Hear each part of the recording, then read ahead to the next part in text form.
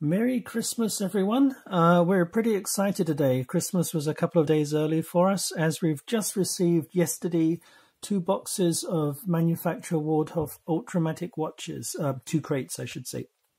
So um, we received those on Friday just before uh, the Christmas weekend and uh, we will be shipping uh, those out to our customers on uh, the 24th and 25th of December.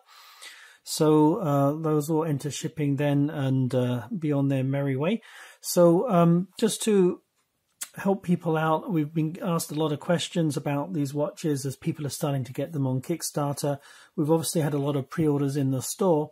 Uh, so I wanted to do two things. First of all, I wanted to use this video as an opportunity to explain about shipping from the store uh, for people who've ordered with us. But the second thing, which is I think more important, uh, people are expressing interest in these watches now. Their friends are getting them. And people are having a little bit of difficulty working out what color to go for. So it doesn't matter whether you buy from us, you buy from uh, Waldhoff, you buy from someone else. Um, this video might be helpful for you. We can have a look at some of the colors and look at some of the features of this watch that might not have been covered yet in other video reviews now. Now people are starting to get these timepieces. And I can cover some of the differences perhaps between uh, the preview, uh, the sample prototype uh, watches that uh, were reviewed uh, roundabouts the Kickstarter time, or the ones that you might have seen from manufacturer Waldhoff, and we can cover the production differences as well. So first of all, let's just start with um, what we're shipping out. We've received two crates of watches literally on Friday We'll be shipping them out uh, Monday slash Tuesday. Yes, we are shipping Christmas Day, and our shipping company is shipping then. So that's good news for people who pre-ordered with us. However, um, we are expecting a third crate about a week from now. So people who have ordered this uh, diamond silver watch here, the kind of um, pearl colored one, we will uh, probably uh, be able to ship 90% of them to uh, on uh, Monday slash Tuesday, and the remaining 10% when we get that third crate a week from now. For all the other colors, right now we should be good. I'm showing three colors here. We've actually packaged a fourth color. I'll, I'll go over the colors in a second. So for everyone else, uh, we've managed to fulfill uh, all the pre-orders from the first two crates. But because we had so many diamond silver orders, we have some of those coming from the third crate, which is due in a week from now. But most of you are going to be getting your watches sent on uh, Monday or Tuesday. So good news, I think, for most people. So let's let's start looking at some of the features and uh, explain about the watches we have here. Before I pick these two up, it's a little bit pretentious normally to wear gloves in a video review, I think. But these two uh, watches are customer watches and uh, this these are not so I don't have to be so careful with the gloves here. And what we do in the store uh, we take the plastic wrap off. We actually make sure the watch works so I can go over what we do on on the watches. That might be useful for some people too. Uh, and then we try and get the plastic covers back on afterwards. We don't take the covers on the back off. We don't necessarily do anything beyond get to the um, get to the glass at the front so we can make sure it's sapphire crystal and also get to the crown so we can do some of the tests here. So the typical tests we'll do without winding the watch, we'll just move it a little bit to rotate the um, rotor at the back and see if it starts running on the um, uh, tourbillon automatically or basically the, the, watch starts operating based upon the use of the uh, rotor on the back. The next thing we would do would be hand wind it so that the power reserve would actually, um, sorry, probably not very good focus here. I've just noticed on the camera here. So the, the power reserve would actually um, increase, make sure that goes around. And then we would pull the stem out uh, on the crown, turn the dial, make sure that the hands don't touch, that it, that it rotates freely around the dial, and make sure the 24 hour time works as well, and then set the time. On these particular watches, we don't have uh, a second hand because the tourbillon, which I can see here, it's, it's a lovely little tourbillon, it actually rotates once every minute. It rotates 360 degrees. So that is the equivalent to your second hand. So we just set the time. Uh, on this one here, which is my own personal watch, I've um, also been running it for 24 hours as a time test, make sure these are fairly accurate with their timing. So this is the diamond silver. It's the most popular color and I can see why. Um, it's a very conservative when you have a white dialed watch, but it actually goes really well with the tourbillon. Um, and it's the kind of thing you could wear for anything. Could wear it very formally dressed indeed for a wedding or something. So it's very formal and, uh, it's not a white color. It's more like a pearl color and you've got a lot of uh, stainless steel. And I don't know how well this camera will pick up on it, but can you perhaps see if I move this down here? There's some patterning, there's radiating spokes um, that was not a watch. I promise it was a watch strap that I had here. Um, one of my own straps too. So apologies for the noise. Um, but you can basically see uh, radiating spokes where Waldhoff is, and then the rest of the dial actually has vertical lines on it. I don't know how well we can pick that up, maybe from a distance. Uh, might not pick it up too well. There's some great photographs out there. I'll put one up on the screen. But this is the most popular color. Comes on the black strap by default, but you can also obviously go for the bracelet as well. I am the strap that I dropped on the floor was one of the one of the uh, leather straps I was going to use for uh, explaining uh, the pros and cons of the straps and the bracelet for people. But it is a lovely watch. Uh, I think this is probably the most balanced color. Um, it doesn't um, accent the tourbillon too much, uh, the, which the black one does. And the black one is a very sophisticated color as well. Um, but this is um, probably, you know, if you're going to go for elegance, um, probably looks the most expensive of the three, to be honest, if that matters to you. Uh, I just think all three are lovely watches, but this is the most conservative one, and I think it's the one that balances the most, and certainly is the most popular color. So what I dropped on the floor, just so you know, it was this tag from this particular spare strap that I have. Uh, so on the left here we have, it's called the Obsidian Black, um, and it's another stainless steel uh, silver colored uh, watch. But this, oh, you can see the vertical lines better here now. But with um, uh, a black color dial. There's also one I can't show because we've packaged these up already and we don't have any spare, but we have enough to go out to our customers.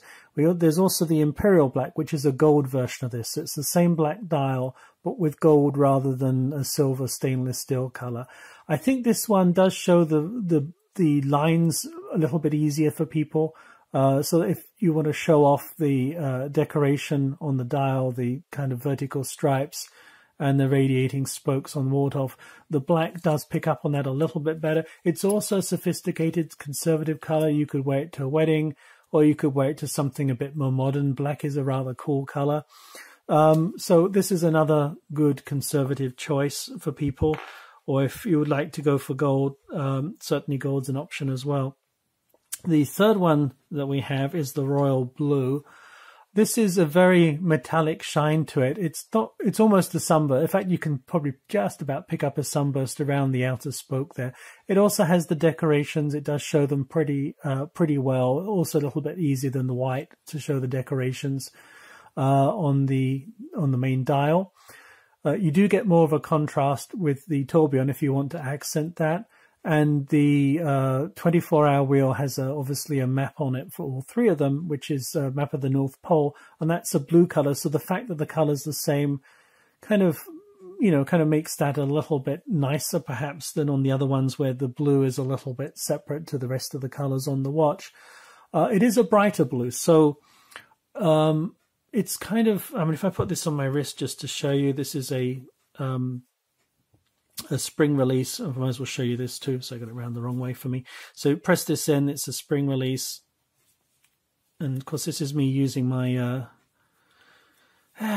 where are we? Where are we? Um, sorry, I'm not used to doing this with gloves on. You can tell this is live. Um, but you normally just press this in there and it's a spring release and I should be lifting this up, I think. And it's not working for some reason.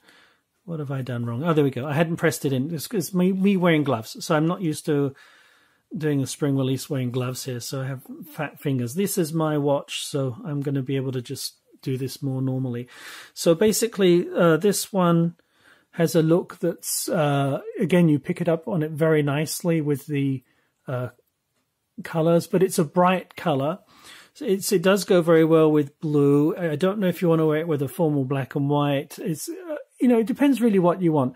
If you want to have, if you have it like me and you have a collection of watches, you have different colors like, you know, reds, blues, green watches to wear with different clothes. This is more of a, I would say, a casual look to a tourbillon watch. It's still a smart dress watch. You can still dress up on it, but, you know, I wouldn't wear this with a tuxedo necessarily. It's just a bit too much of a bright blue for that. So I don't know if you think about those kind of things when picking a watch. Uh, but those are the kind of things I think about, and that's what's made my own personal choice a little bit hard. This was the one that I picked because I've got a lot of other colors, including black and in including white. But having said that, the tourbillon here is really gorgeous. This is probably my second choice, and this was my wife's first choice. Um, so I think it might show the decorations off not quite so well, but it does balance probably the best in terms of color and being conservative. You could wear, really wear that with anything. So that gives you an idea of the colors. And then we have some options. We have a bracelet and we have straps. So let's talk about uh, the options and then I'll point out some of the features that I haven't seen in other reviews that I found uh, good and bad. I'll give you the good and the bad as well. There's no perfect watch out there. I think this is overall a very good watch, else I would never have considered stocking it in the store. Uh, so obviously, you know, I like this before I'm even showing you this. And I actually do do watch reviews and I try and be unbalanced, uh, not unbalanced, I try and be balanced uh, as much as possible. Um, so I'll try and point out some pros and cons. So um, the first thing is this uh, uh, how should I put this? The ends of this, uh, the the uh, lug ends look like they're screwed pins, which is often a plus because that's a little bit stronger and more sturdy than um, your typical spring bar. Um, so I actually thought these were screwed pins. In fact, they're not screwed pins at all. You can see you've got a quick release pin here. These are actually spring bars. It's really easy to to release these. You just push the pin down and it comes out. Same way for putting it in. It's just as easy. You can, you know, push this down and uh, uh, after putting the bottom end in and it goes in very easily. So these are actually standard um, spring bars. Uh, they just have these screw decor screw-like decorations on the end to make you think they're screwed pins. So initially I thought, well, are they cutting corners? Is that a bad thing? But you know, I thought about this a lot, and I think they've put thought into it too, and it is actually a good thing because uh, the issue with screwed pins, well, there's two issues. First of all, in order to unscrew them, oh, you think, great, easy, a screwdriver. But you need two small screwdrivers, whatever it is, 1.2 millimeters, one to hold it still and one to turn the other end. So you need two screwdrivers. But the real issue is the straps, because typically this is just a fairly standard strap with just a spring, um, a spring bar in it that's very small, so it's a very small hole opening. If you buy a third party strap, this is a standard 22 millimeter lug width. You can use third party straps. If you had a screwed, um, uh, screwed lug ends here instead, it will be a thicker bar.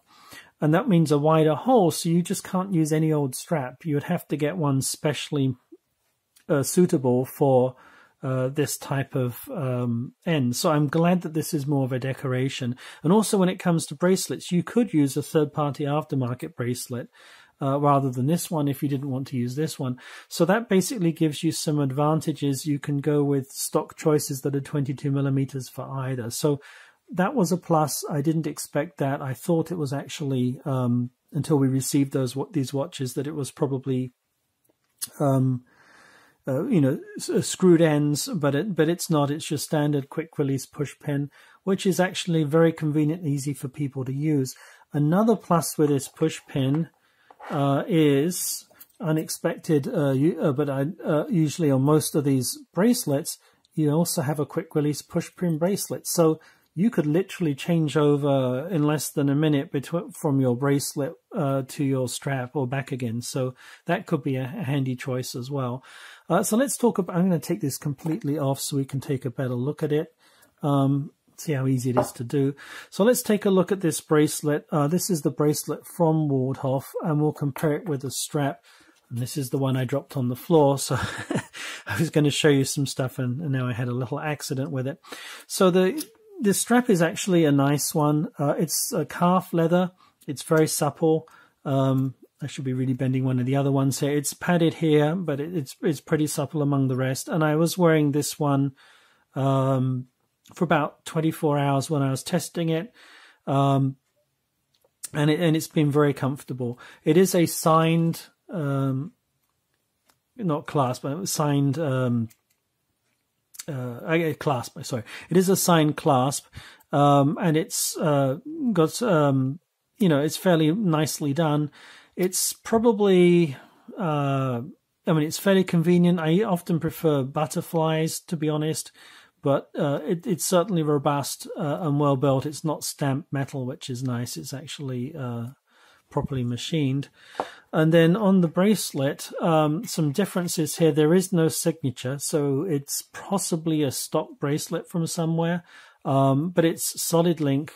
It's also got the same. This one fell out, so it's kind of convenient. It's got the same quick release uh, push pins. You just literally push it in to to release the spring. It is a butterfly clasp, which is what I would expect. They're all solid links. It's very um, got a bit of heft a bit of weight, which is nice. And on the butterfly, it's a little bit of perlage, which is which is nice. So even though it's not got a signature, which is a little disappointing, being the fact that it's uh, the one that you get officially from manufacturer Waldhoff, um, it's still a very good bracelet. The only issue I've had with that, because I do like to say pros as well as cons, uh, it is really well built.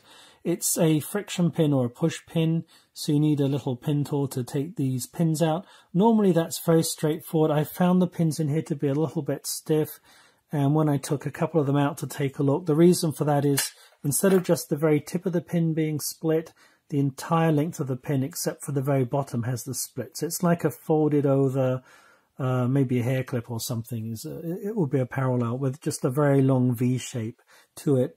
So as a result, it can be pretty stiff in there, and you do sometimes, you might want to uh, get that professionally resized if you do get one of these, but it looks really nice. Um, your other choice is to get a, maybe an aftermarket one where you can more easily push the pins out or get screwed pins.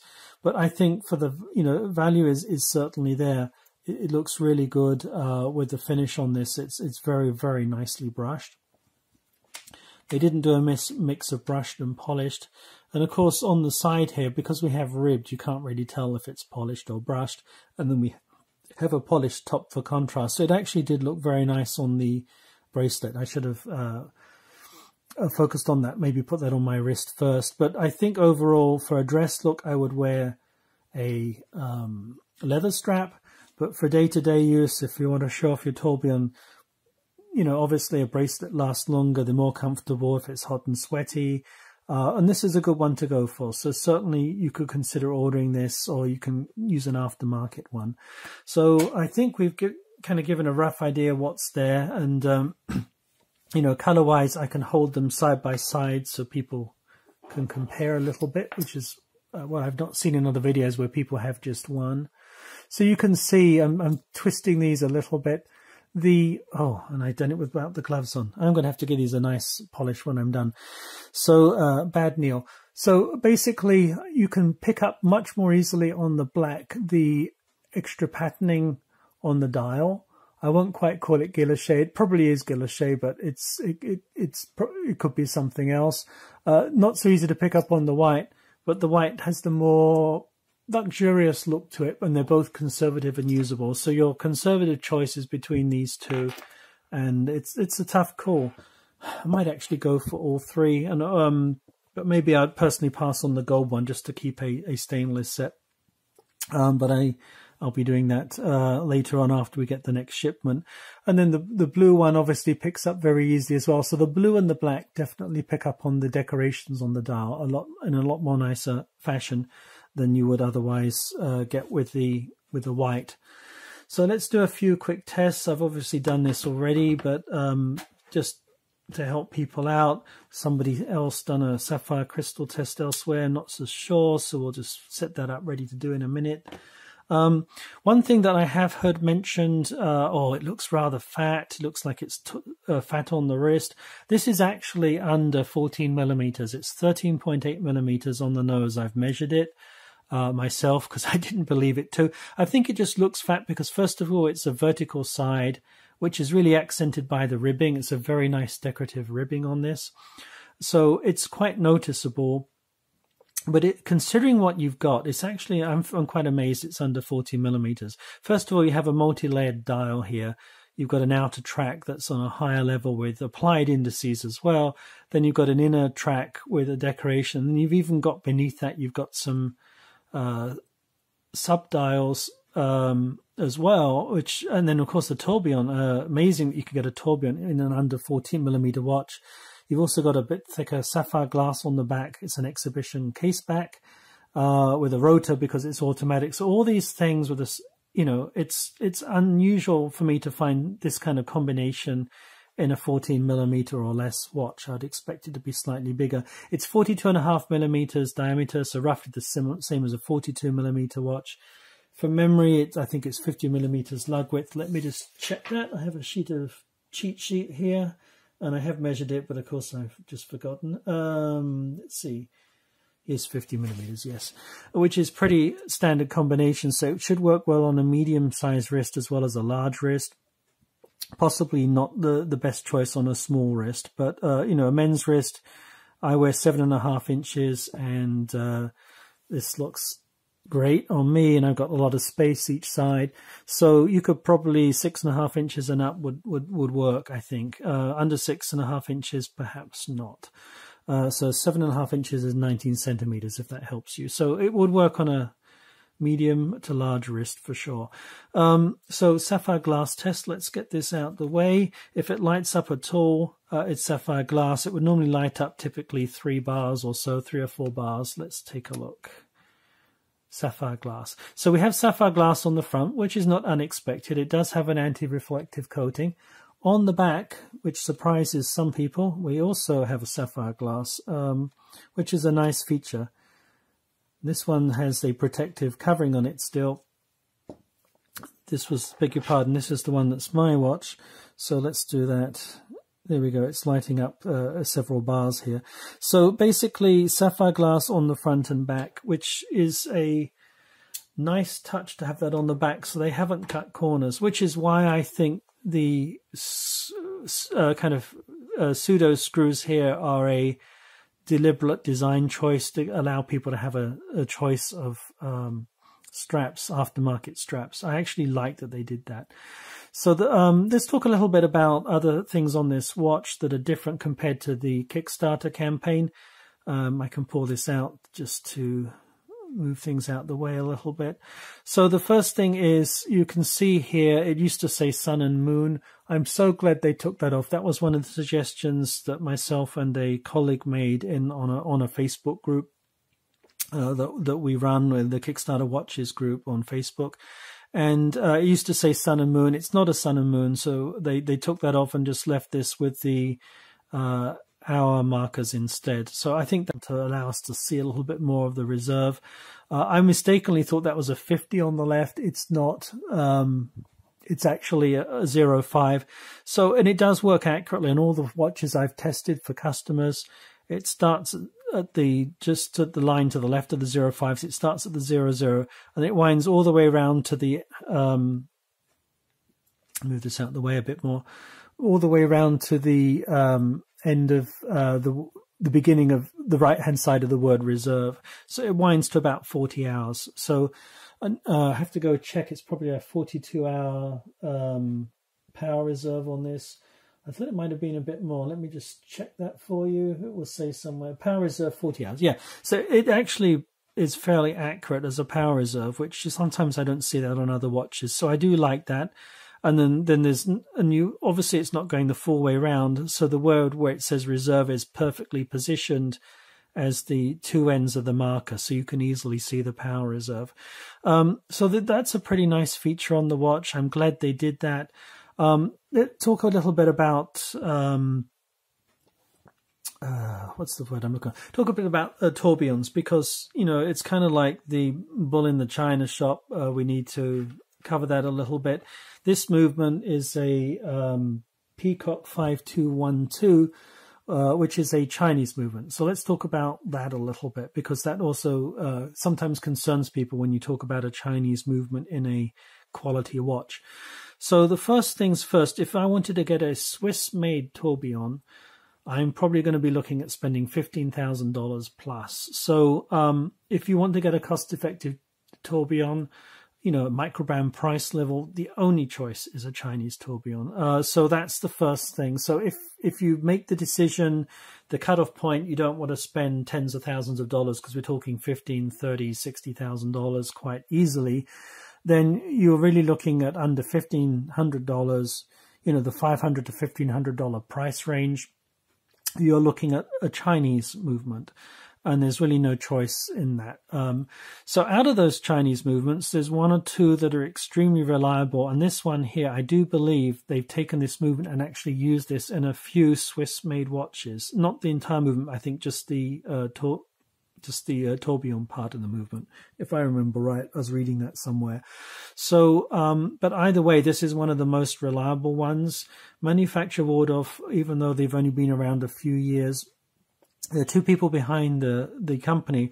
Uh, one is a Swiss-based designer who designs these dials and uh, and the watch overall, and the other partner has been um, a watchmaker for about forty years. He started off with Stowa. He works. Um, in, he has a very reputable factory. He's been around for a number of years. Uh, in uh, Germany. So these watches are assembled in Germany. They're very thoroughly tested in Germany. So uh, they're not made in China. The movement comes from China. Uh, it's one of the better movements that actually some of the Swiss brands like to quietly use as well, uh, at least for the um, uh, tourbillon. And um, it's a company that actually does uh, their own assembly. Uh, they don't outsource to China or to another company and and they're they're they're genuine watchmakers that have worked on luxury watches for about forty years or so. So uh, even though manufacture Waldhoff's two or three years old, you've got the history uh, with one of the partners there, and I think that may, gives me a little bit of reassurance, which is why we picked this one for the store. We could have picked a couple of other ones. Uh, there were three on Kickstarter at least this year with tourbillons. Uh, one was horrendously worded campaign saying how you have a millionaire's watch and it's worth thousands of dollars just because it has a tourbillon, but the tourbillon they're using, I think, is like a $250, $300, uh, you know, component. So really not necessarily the level of this one. Uh, and another one, um, you know, comes in at a similar price point to this. So this was the one that we went for. I think possibly it may also be the thinnest one. I am not quite sure from from that kind of price range.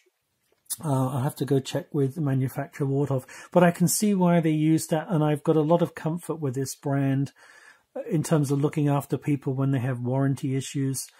Um, because the big thing with the tourbillon is it's, it would be rather hard. You can't just send it out to a normal service. If you've got a guy who does servicing for you, then your concern's going to be, will he be able to repair a tourbillon? So you want to have a company that's reputable, uh, that's hopefully around, around for a while, um, there's a lot, lot, you know, these are extremely complex mechanisms, and that's why we're interested in collecting them. And I think this has the right balance between price and reliability. So it's a very hard balance to strike because, you know, um, your only other choice is we're starting to add some zeros on the end of the price instead of a, I think this is like a thirteen hundred dollar watch, or call it a fifteen hundred dollar watch.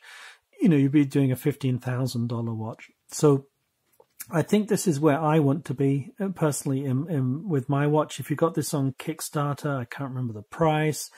Uh, right now, we have this in the microbrand store at about eight hundred dollars, uh, seven hundred ninety nine.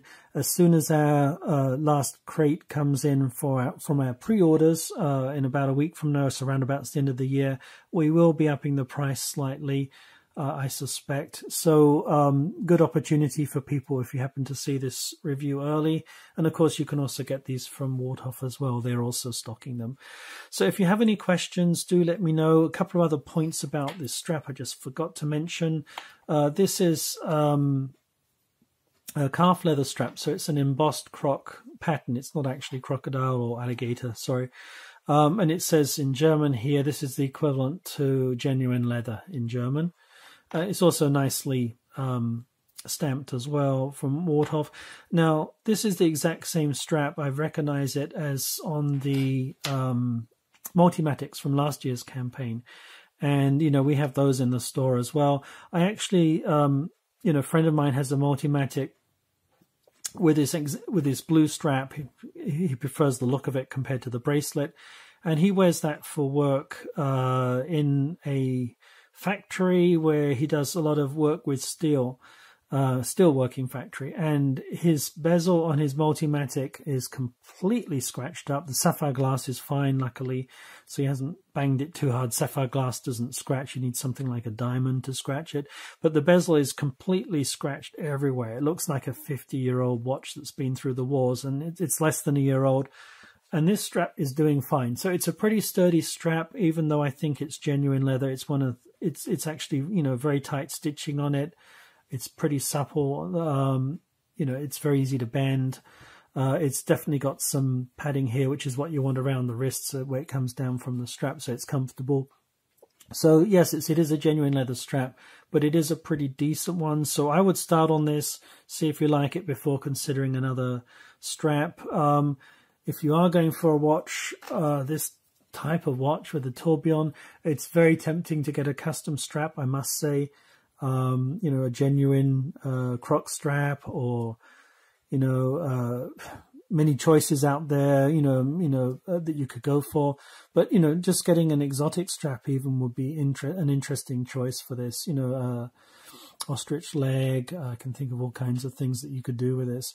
So, um, definitely an enjoyable watch. Uh, I hope this was useful for you. If you have any questions, please do let me know and I'll be more than happy to address them in the comments or you can contact us in the store. Even if you're buying the watch from someone else, we're just happy to answer questions about these watches.